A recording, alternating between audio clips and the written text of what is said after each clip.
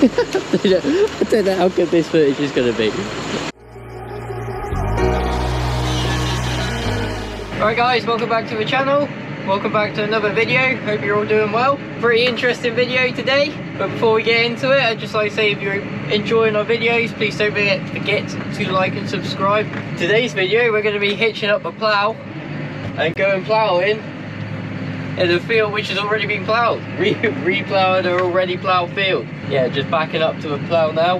It's going to be for some winter corn. It's quite late, but we had some rain last night, so the field's still a bit wet today, but we're just going to plough it, re-plough it, and just start afresh. And hopefully get it drilled sort of um, early next week. We'll get the plough hitched up, get it greased up, and then we'll go. And hopefully we can remember what we're doing. Catch you up in a bit.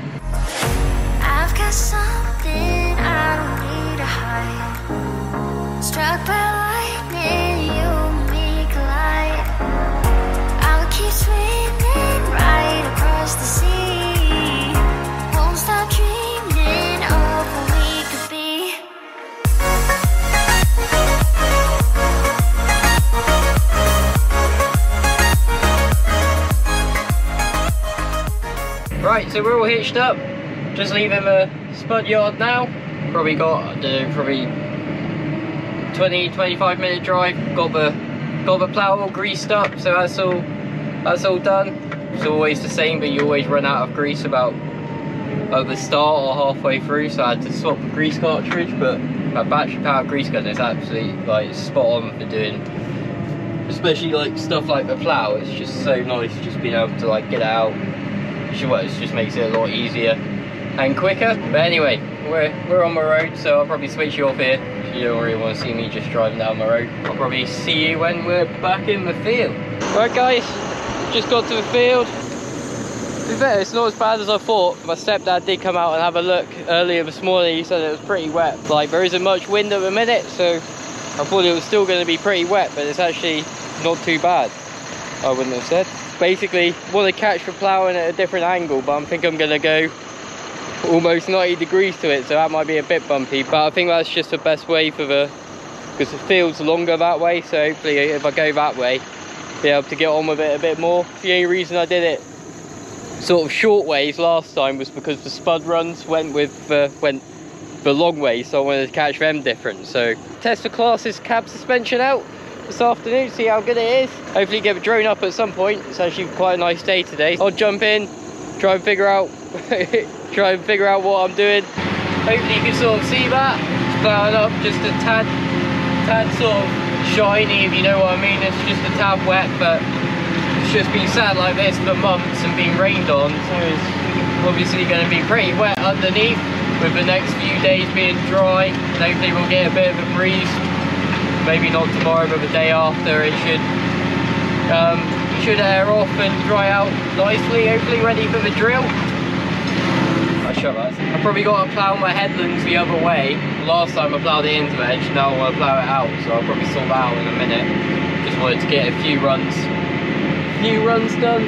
Just get myself set up. Like I was saying earlier ploughing it for a second time. We missed our sort of slot um, with the winter corn but hopefully we're still going to be able to get the back seed we've got in. Drill. be a tad late but hopefully it'll hopefully it'll be all right it's not being too bumpy in a minute but I haven't been full speed yet. Soil isn't sticking to the plough so done a pretty good job of greasing it up. Because that's always the actual worst thing is when you come to use it the first time you spend well take ages doing the first bit because you keep on jumping in and out scraping the boards off but don't seem to have that problem at the minute. We'll keep cracking and we'll see what happens highs and lows, highs and lows. It's all the same, highs and lows, highs and lows. Keep all your game, highs and lows, highs and lows. It's all the same, highs and lows, highs and lows.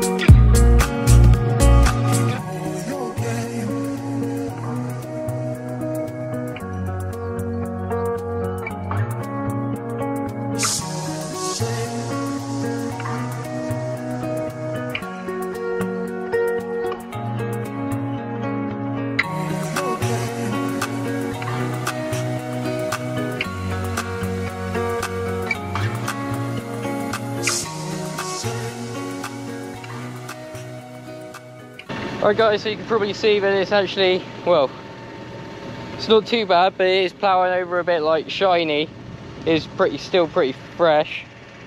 It's like sticking to your boots as you're walking in it. It needs moving, it needs the air getting through it to air it off. And then if we come in here with a cultivator, break it up a bit more, just ahead of a drill would hopefully would have done a good job. Sun's sort of going down, better keep going.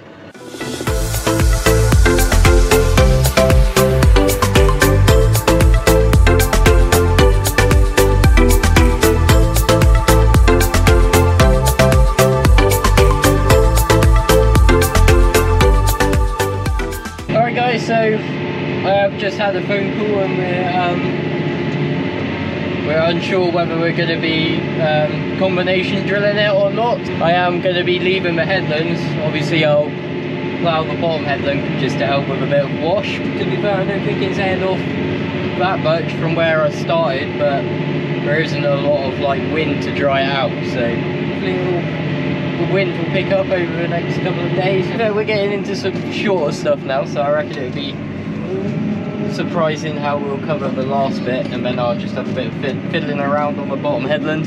I don't know if you can see that down there, round to the left. Just got this little bit here to do, that bottom headland down there, and then that's it.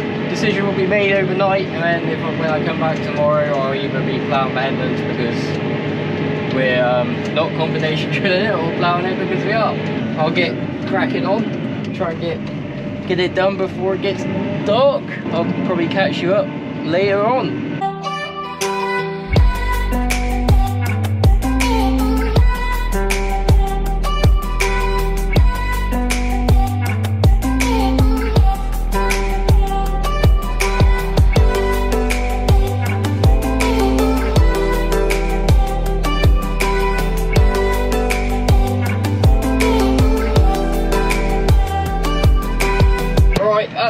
Field sort of done apart from the headlands. Hopefully you've just seen me unhitching.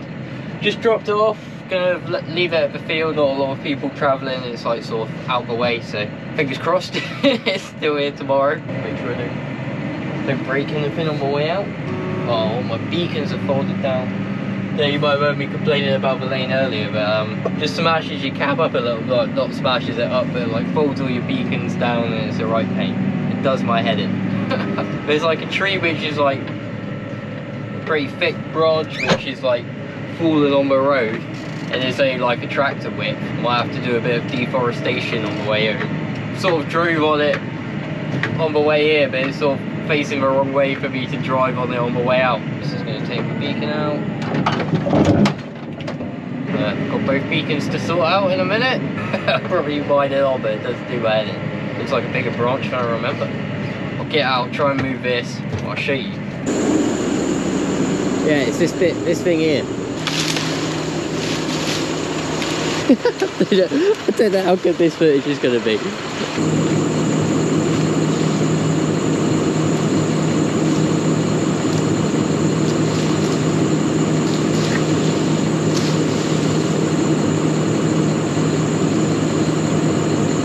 That'll do, I reckon. Sort my wing, sort my, not my wing mirrors, but my beacons out. Bit of hedge trimming in the video as well. Alright, so we've um, just made it back to the yard. Probably to end the video here.